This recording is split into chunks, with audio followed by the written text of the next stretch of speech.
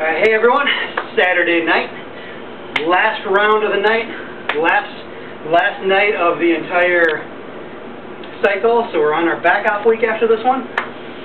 Start off, two cast wall walks, seven handstand push-ups, two cast wall walks, out to the garage for five dips on the rings, two cast wall walks, five pseudo planche push-ups, the hands down by the hips here on the push-up bars, two cast wall walks, seven L sit pull-ups on the rings. It's a good one. Here we go.